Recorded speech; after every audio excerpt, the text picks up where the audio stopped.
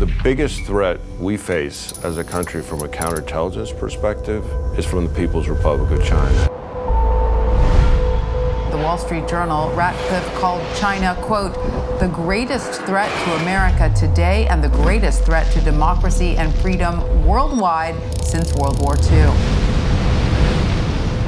你们没有资格在中国的面前说你们从实力的地位出发同中国谈话。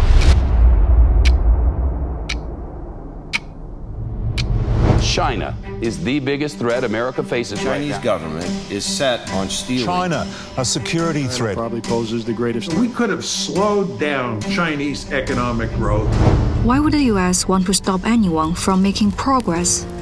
Is China a threat, and to whom? These are the questions that have brought us to China's southernmost seas, where military tensions have steadily built up, and to a fortress town near the China Myanmar border to examine historical ties between China and the US. We've talked to scholars who are gravely concerned about China US tensions. We should not be labeled as wolf warriors. And the relations uh, is go down to hell. And we've looked back with diplomats at periods when China and the US had a friendly relationship on the global stage. Another set of questions arises. In the China threat, actually the China mirage. How do these tensions play out militarily, economically, and culturally?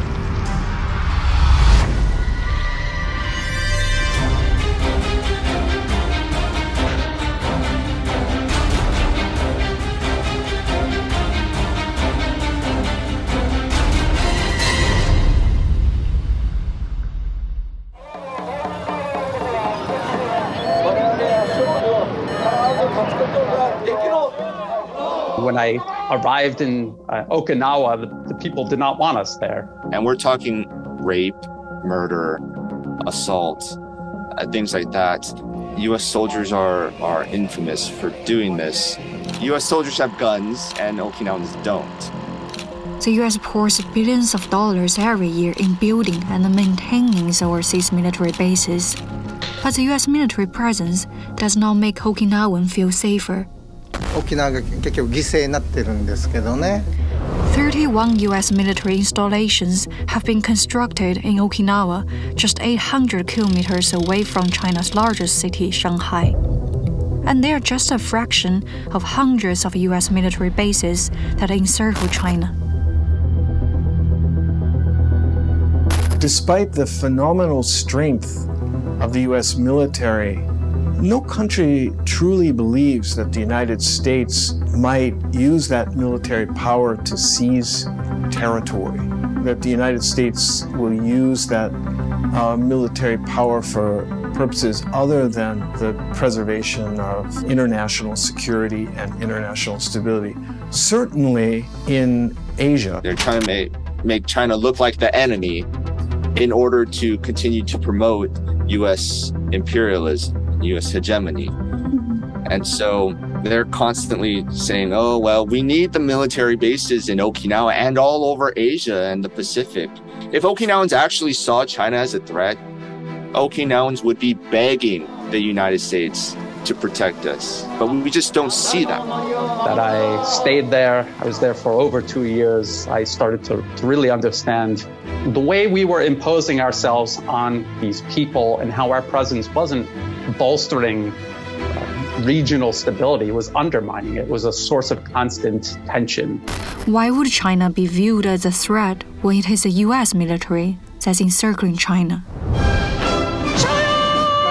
China is the most significant military power in the world now, other than the United States. And the United States now feels that China is not simply limiting its military power to its defense needs, but is actually talking about it needs military power because it's a big country. And this creates the security dilemma. CBS News Chief White House correspondent Major In December 2017, the security concerns had become so intense that when US President Donald Trump announced a new national security strategy, he called China a rival power. We also face rival powers, Russia and China. That reports and formally identify China as a global challenge to the U.S. So from now, and the U.S. Uh, defined China as uh, uh, the number one threat to the United States. The characterization of China is different from the two Obama national security strategy documents. They outline a general view of China as a potential responsible stakeholder, a partner, a rising power that the US had no inherent reason to fear. I, in my career, am used to there being a kind of pendulum swing in US China relations, where sometimes tensions rose, sometimes uh, engagement flourished. Right now, it feels more like a spiral, a downward spiral that goes faster and faster, makes it more and more difficult to pull up and pull out and to restore balance to the relationship. The US China relationship used to be very different. In southwest China's Yunnan province, a memorial hall was erected to commemorate the period when the friendship between two countries flourished. Bronze statues of U.S. General Joseph Stilwell and General Claire Chennault stand side by side at the cemetery.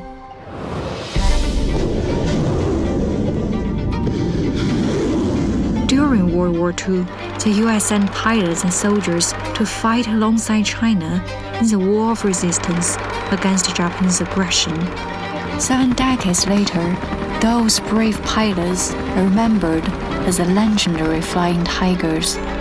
I have lived through periods when we were allies against a common enemy, uh, Japan, when we were uh, bitter enemies after the Korean War, when we were each fighting each other in Korea, when we improved the relations again and became cooperative partners. The Chinese people said the planes, which sported a shark mouth painted on the nose, darted around the sky like flying tigers. More than 1,000 flying tigers lost their lives in the battles. The memories of the US and China being great friends and together driving out the Japanese invaders has stood the test of time, in China at least. And now we are again moving into a period of growing hostility between the two countries. At this moment, the, it's already uh, no way to prevent uh, China and the US uh, to view the other side as a strategic threat. The perception of China as a threat dominates the US mass media landscape and foreign policy. But what does a China threat look like in the reality? To see firsthand how the perception of China as a threat plays out against the reality, we went to the South China Sea, where growing military tensions have overshadowed the U.S.-China relations. 美国在亚太地区的呃军力报告，尤其是在南海的军事存在，我们从2016年开始编第一份。 Wu Shicun is a founding president of the National Institute for South China Sea Studies, and he has dedicated his life to studying the area. 航母打击群、两栖戒备群加在一起，去年是十二次；攻击性核潜艇在南海去年是十一次；大型战略轰炸机像 B 五二、B 一 B 去年出现在南海二十二次。军事演习有单边的，有联合军事演习。去年的统计数据大概是九十五次。Every year, the U.S. military flies thousands of spy planes over the South China Sea, and the military ships frequent the region with growing intensity. If China's actually afraid of an American attack, there are well established military doctrines of deterrence that it can use to safeguard its uh, interests. But I don't think that's a very realistic threat. 美国是航行自由行动，那么让美国提出来，呃，中国有这样的案例吗？干扰过美国在南海的航行自由吗？特别是商船有吗？没有。所以这哪是航行自由行动呢？哪是构建自由开放的印太战略啊？这个战略是给中国量身定制的。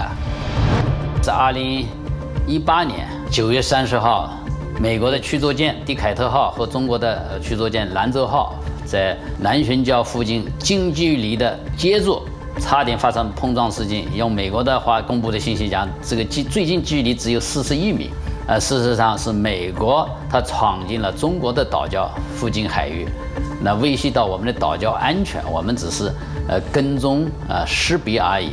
危机管控机制虽然有，但是在特定的时候它会失效。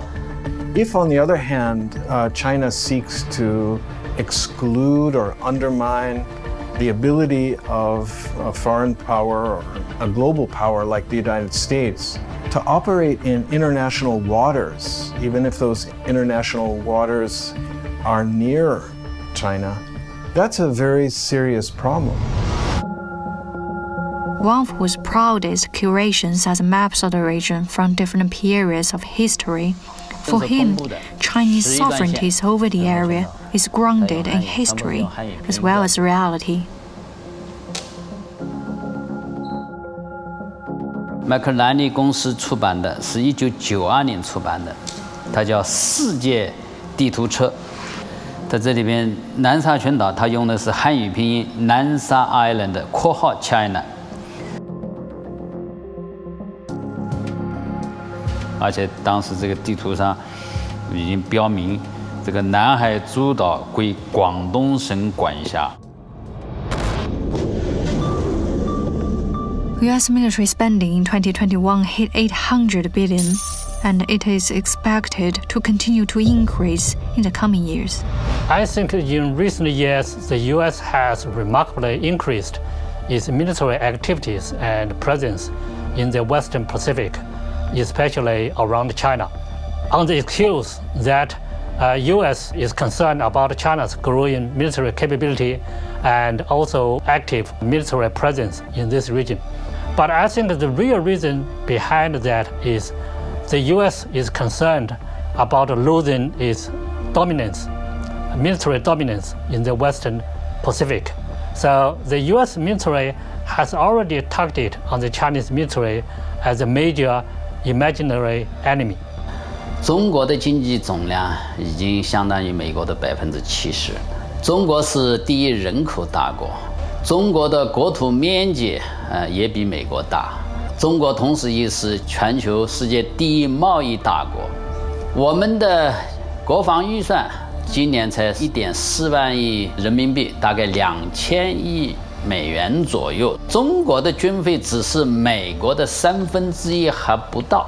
So in that case, China has no choice but responding by a increasing our military capability, and b also increasing our military presence in this region, and that will lead to the growing risk of some accidents between two militaries, both in the air and uh, on the sea especially in South China Sea and also around the Taiwan Island.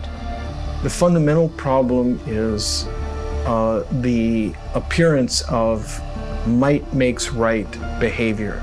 It is the responsibility of China as a major power to scrupulously abide by international law. 所以美国它中国威胁论就是以中国一改变现状。 第二，不遵守基于规则的国际秩序；第三，就是军事化。美国提出构建一个预设前提，嗯，中国威胁论，它后面它不只是为了抹黑你，它有一系列一系列的战略和政策辅之于，甚至于还有安全倡议。另外，美国要通过投资结盟和竞争手段来塑造中国的。周边战略环境，他说这个美国是这个历史上他已经打掉五个老二了，所以美国他会不断的寻找对手，他不习惯没有对手的。你说美国没有对手了，他的庞大的军工集团，他给谁卖武器啊？So is the China threat imaginary or real? Whether or not China is painted a threat, the ramifications of the narrative are real. Residents in Okinawa grapple with the daily presence of the U.S. military. Merchants in Yiwu pray for U.S.-China cooperation that rekindles trade. disillusioned Chinese students are figuring out their future other than pursuing a degree in the US. China does not live in isolation from the US, and like the rest of the world, Chinese people aspire to peace and prosperity. If frictions are inevitable, then the priorities should be preventing confrontations escalating to something more dangerous. The answer is not trying to thwart or in some way try to criminalize China's peaceful rise, nor is it the expectation that China could become more like the US. More realistically, it comes from an understanding about how much American and Chinese people share in pursuing democracy and equality, in being prosperous and wealthy, and in being part of a connected story. If China and the US could find a way to bridge their differences when they were enemies, then surely a bridge can be found today.